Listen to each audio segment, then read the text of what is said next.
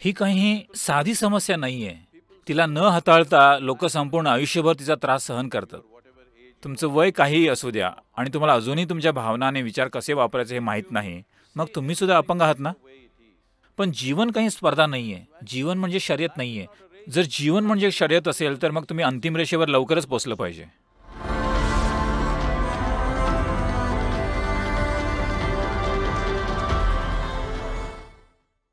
मी खूप वेळा अशा परिस्थितीत असते जेव्हा मी स्वतःवर खुश नसते.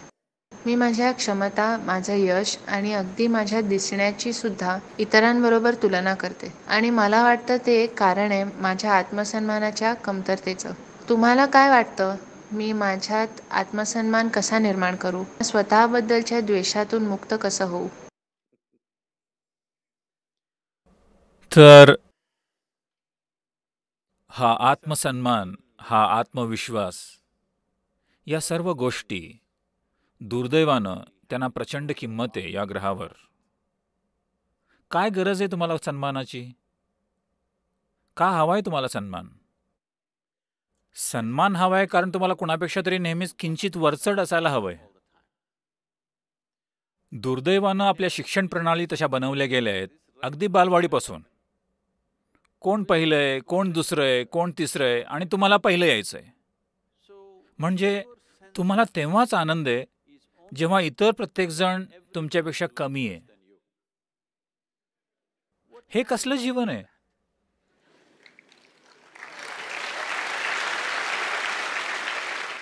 का आपण आपल्या जीवनाची रचना अशी करतोय की जेव्हा सगळ्यांचं वाईट चाललेलं असेल तेव्हा मला छान वाटेल.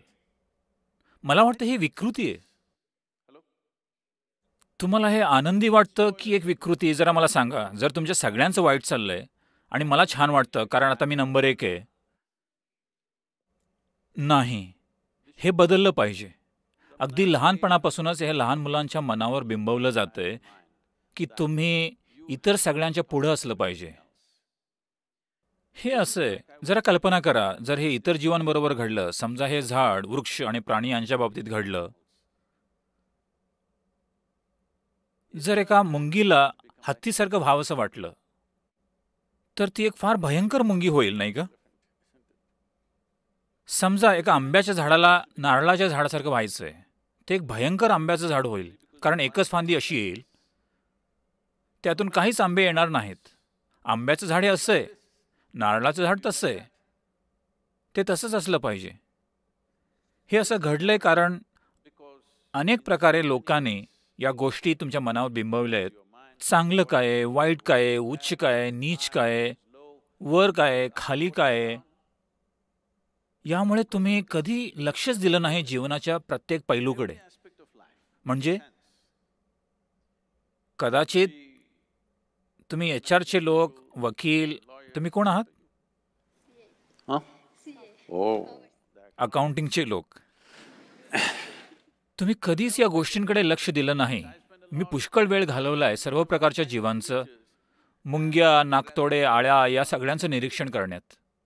जर तुम्ही निरीक्षण केलं समजा एका मुंगीचं किंवा त्यापेक्षा काहीतरी थोडं मोठं समजा एक नाकतोडा तो जरा पाहायला सोपा आहे. तुम्ही त्याच्याकडे काळजीपूर्वक पाहिलं ज्याने कोणी या नाकतोड्याला तयार केलं त्यानं त्या नाकतोड्याकडे तितकंच लक्ष दिलंय जितकं याकडे दिलं गेलंय. जरा लक्ष देऊन बघा. जेव्हा सृष्टीच्या निर्मात्यानं सारखंच लक्ष दिलंय एका मुंगीकडे आणि तुमच्याकडे तेव्हा हे विचारणारे तुम्ही कोण? की एक मुंगी निकृष्ट आहे आणि तुम्ही कोणीतरी श्रेष्ठ मनुष्य आहात?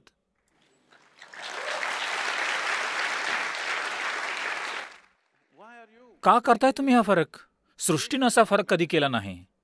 तुम्हाला कदाचित वाटत असेल की तुम्ही श्रेष्ठ आहात कारण तुम्ही अगदी दिमाखात या ग्रहावर वावरत आहात. पण हे खरं नाहीये. तर वस्तुस्थिती अशी आहे. हे बघा जर सगळ्या आळ्या या ग्रहावरच्या आत्ता या क्षणी त्या सगळ्या मेल्या सगळ्या आळ्या साधारण बारा ते अठरा महिन्यात या ग्रहावरील सर्व जीवसृष्टी नष्ट होईल. सर्व काही तुमच्या माझ्यासकट. समजा सर्व किडे आज मेले तर साधारण अडीच ते चार वर्षात सर्व जीवन नष्ट होईल. पण जर सगळी माणसं मेली तर हा ग्रह समृद्ध होईल.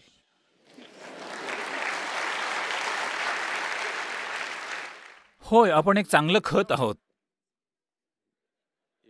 जर मनुष्य निघून गेले तर अगदी या बिल्डिंगमधून झाडं उगवतील नाही का?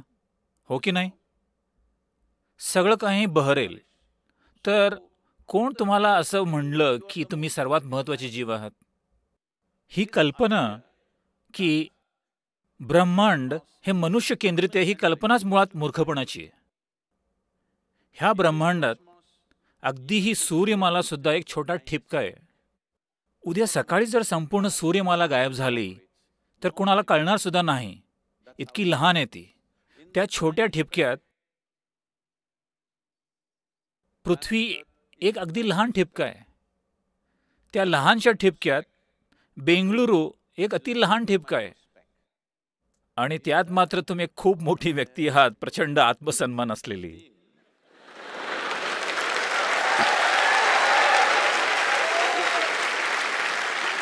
ही काही साधी समस्या नाही आहे तिला न हाताळता लोक संपूर्ण आयुष्यभर तिचा त्रास सहन करतात.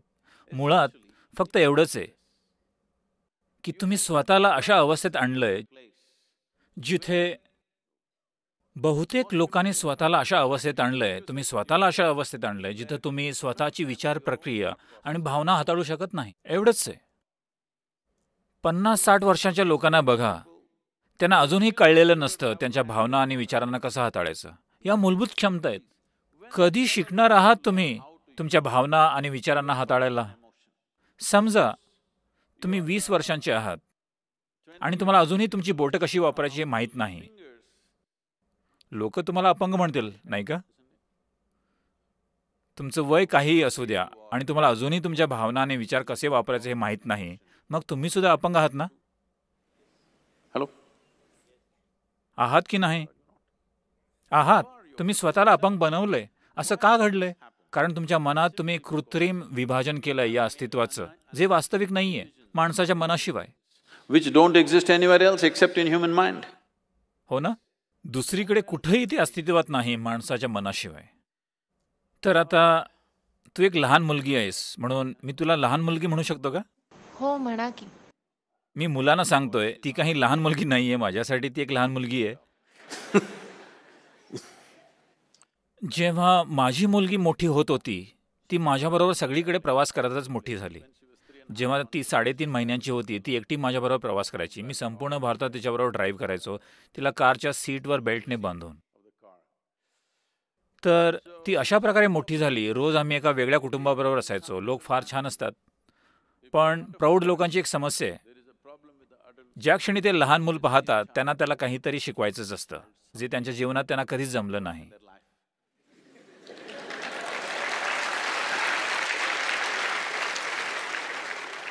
तुम्ही हे पाहिलं पाहिजे. ही इच्छा इतकी सक्तीपूर्ण असते.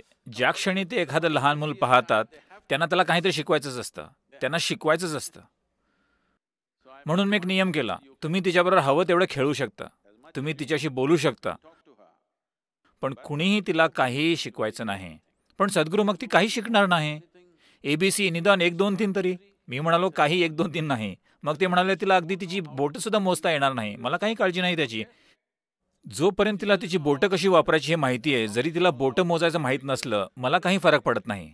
तिला वाटलं तिला लाख बोटं आहेत. मला काय अडचण आहे? पण त्यांना एक दोन तीन A B C Mary had a little lamb शिकवायचंच असतं. मी म्हणालो मला काही फरक पडत नाही मेरीकडे लॅम्प आहे की नाही? तुम्ही तिला काहीही शिकवायचं नाही. तर तिला कुणीच काहीही शिकवलं नाही. ती सगळं काही ऐकायची. कारण जर तुमच्याकडे शिकवायला काही नसलं तर तुम्हाला त्या माणसाला एक समान वागवावं लागतं. तर ती मोठी झाली जेव्हा ती अडीच तीन वर्षांची होती. तेव्हा ती सातशे ते आठशे नावं लक्षात ठेवून बोलू शकत होती. सर्व प्रौढ व्यक्ती तिला वाटायचं ते सर्व तिचे मित्र आहेत. कारण सर्वजण तिच्याशी ती प्रौढ असल्यासारखं बोलायचे. आणि मी तिला कधी शाळेत नसतं घातलं पण माझा दिनक्रम अगदी वेडावून टाकणारा होता आणि मला तिला एका शाळेत घालावंच लागलं. जेव्हा ती बारा तेरा वर्षांची होती एक दिवस ती शाळेतून घरी आली आणि शाळेत काहीतरी झाल्यामुळं ती जरा विचलित झाली होती. ती आली आणि म्हणाली तुम्ही सगळ्यांना पुष्कळ गोष्टी शिकवता पण मला काहीच सांगत नाही. मी म्हणालो हे बघ मी कधीच कुणाला न विचारता शिकवत नाही. पण आता तू इथं आलीस तर बस खाली. तुम्हाला फक्त एवढंच शिकायचं आहे कधीच कुणाला उच्च लेखू नकोस. तिनं माझ्याकडे असं पाहिलं तुम्हालाही नाही? मी म्हणालो खास करून मला. कारण ज्या क्षणी तू मला उच्च म्हणून पाहतेस तू याला पूर्णपणे मुकशील. जर तुम्हाला मी जसा आहे तसं पाहिलंस तर याला पुष्कळ किंमत आहे. जर तुम्ही मला उच्च म्हणून पाहिलं तर तुम्ही काय कराल? कदाचित माझा फोटो घ्याल आणि भिंतीवर टांगाल जसं तुम्ही जगातल्या इतर अनेक मौल्यवान व्यक्तींना टांगले. तुम्ही फक्त मी जसं आहे तसं पहा. कधीच मला उच्च समजू नका. आणि कधीच कुणाला खालच्या दर्जाचं समजू नका. एवढंच आहे. कशाकडे उच्च म्हणून पाहू नका कशाकडे खालच्या दर्जाचं म्हणून पाहू नका. जर तुम्ही सगळं काही जसं आहे तसं पाहिलं तर प्रत्येक गोष्टीला प्रचंड किंमत आहे. प्रत्येकाच्या जीवनाला एक स्थान आणि एक किंमत आहे नाही का? प्रत्येक प्राणीमात्राला किंमत आहे. आपल्याला याची जाणीव नसल्यामुळे किती गोष्टी आपण नष्ट केल्यात या जगातल्या. फक्त आपल्याला वाटतं की हे मौल्यवान आहे हे मौल्यवान नाही आहे इथं असं काहीच नाही आहे जे मौल्यवान नाही आहे प्रत्येक गोष्टीला तिची किंमत आहे. कदाचित तुम्ही ते पाहू शकत नाही. तर स्वतःला असं बनवू नका की तुम्ही विरुद्ध बाकीचं जग. ही फार वाईट स्पर्धा आहे. तुम्हाला एक नंबर व्हायचं आहे या ग्रहावर. ते फार भयंकर ठिकाण आहे मग. सर्वजण तुमच्या खाली आणि तुम्ही वर. ही असण्याची चांगली जागा आहे का? मला वाटतं ती एक विकृत जागा आहे. ही वृत्ती सतत एखाद्याच्या पुढे असण्याची ही जायला पाहिजे. हो गंमत म्हणून खेळांमध्ये तुम्ही स्पर्धा करता ती वेगळी गोष्ट आहे. पण जीवन काही स्पर्धा नाहीये. जीवन म्हणजे शर्यत नाहीये.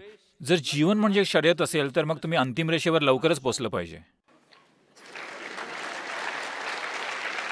जर तुम्हाला जीवन एक शर्यत वाटत असेल तर तुम्ही अंतिम रेषेवर आजच गेलं पाहिजे. मी तुम्हाला सांगू शकतो कसं ते. जायचं का तुम्हाला तिथं? नाही? ही काही शर्यत नाही आहे हे एक प्रचंड भाग्य आहे की आपण एक मनुष्य म्हणून आलोय. याचा अर्थ आपली जीवन अनुभवण्याची क्षमता ही प्रचंड मोठ्या स्तरावर आहे या ग्रहावरच्या इतर कोणत्याही जीवांच्या तुलनेत. आपण जे आहोत त्याचं हेच महत्त्व आहे नाही का? आपण जीवन अनुभवू शकतो वेगवेगळ्या आणि कितीतरी प्रखर स्वरूपात. एक मुंगी कशी अनुभवू शकते एक नागतोडा कसा अनुभवू शकतो जे आणखी कोणी अनुभवू शकतं त्यापेक्षा. हे आपलं भाग्य आहे. जीवन अनुभवण्याऐवजी आपण शर्यत जिंकण्याच्या मागे लागलोय. जर तुम्ही शर्यत जिंकली तर तुम्ही आजच स्मशानात असलं पाहिजे.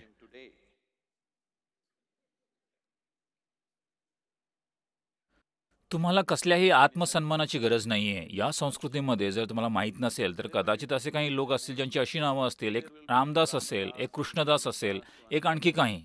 याचा अर्थ असा आहे की लोक जाणीवपूर्वक एक दास म्हणून नाव लावून घेत आहेत कारण एक आनंदी इच्छुक दास म्हणजे एक अद्भुत मनुष्य जर कोणी जबरदस्तीने कुणाला दास बनवलं असेल तर तो वेगळा विषय पण स्वेच्छेने मी या जगात जे गरजेचं आहे ते करण्यासाठी तयार आहे. तो एक अद्भुत दास आहे नाही का? मी सुद्धा एक आहे.